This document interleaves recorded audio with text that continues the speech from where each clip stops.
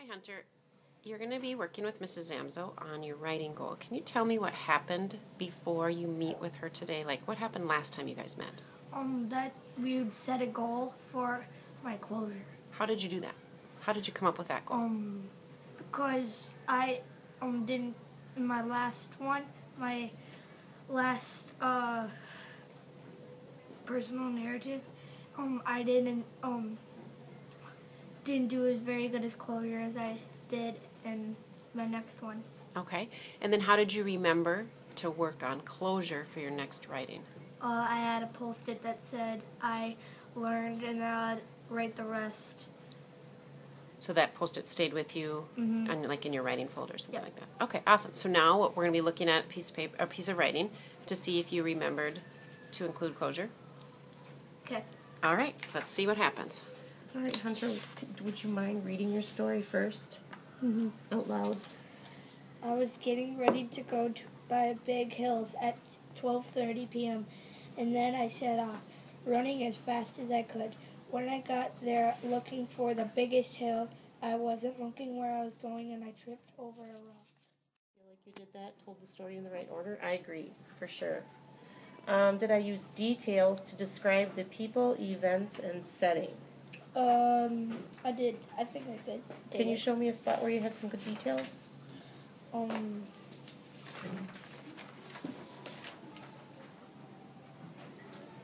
I face planted.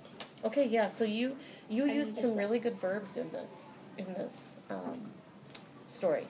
Excellent. Is there another spot where you had some good details Mm, that would really help me see it, like maybe colors or sizes of things, or like what the setting looked like? mm,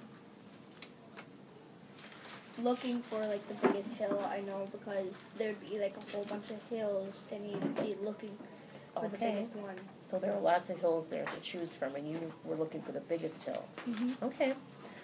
All right. Um, did I use temporal words? Did you use temporal words? Mm-hmm. Can you show me a couple places? Like like next and Yep. um I see finally. Yeah, good. finally there's a there's some I think there's a next somewhere. And you had some nice um, times, and the times that you used made sense. So first it was twelve thirty, and then it was two 2:45. forty-five, and then um, does Eight this- thirty. It was the next day. the next day. So yep. So I see the time there with the temporal words. How about the closure? What do you think about that? Uh, not. Don't write it without permission. Did you have that in your? You had it here on your post-it. I learned don't ride without permission, which makes sense. Did you have that in your story?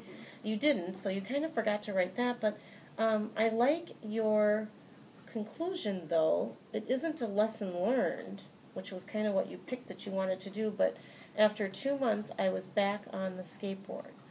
Um, so maybe you just forgot to put this part right Yeah. onto this paper, right? Because like it shows it. I'm back on the skateboard and the. Right. So your Storyboard. yes, your storyboard matches your story, doesn't it? Mm-hmm. Okay. Um, how about do my sentences begin with a capital letter? Uh, I think so. Mhm. Yeah, most of them. Yep, I think so too. And how about punctuation at the ends of your sentences? Um, punctuation. I think I Mhm. did pretty good. Yep, you did. I see period here, period here, here. So nice job on that. And how about the high frequency words spelled correctly? Uh, I think I did like and my. Uh, big. I think I did pretty good on Yeah, even some tricky ones like down, you had exactly right, and crack, couldn't, you even got the apostrophe, so nice job on the spelling. Um, I'm thinking maybe for your next goal, maybe you can get some more details into your story. Because I'm thinking about like, um, let's see. I set off running as fast as I could when I got there, and so maybe you could just kind of give us a picture, like to um, like the edge of town where there were lots of trees, or at the park, or Yeah. some things like that. And then maybe if there was anybody else with you, I don't know, maybe you were all alone. Um, but, but just some more things like that. And the doctor told me it was broken. So maybe you could tell something about the doctor. Maybe um, He was wearing like a white perfect. coat. Yes, the doctor wearing a white coat. That would be a great detail. Um, and maybe describing the skateboard a little bit, like what it looks like. Okay. Okay. So we'll make that for your next goal then, okay? Does that sound good? Mhm. Okay. Um, so that's it. You're done. Nice job. I always love your stories. You are a very good writer. Do you like to write? Yeah. Yeah. Do you write ever at home when you're all by yourself or not? Uh, yeah. I have a special notebook. Do you do? Okay. I write about stuff that happens. Mm, kind of like a journal. Mm-hmm. The things that happen to you. Mm-hmm.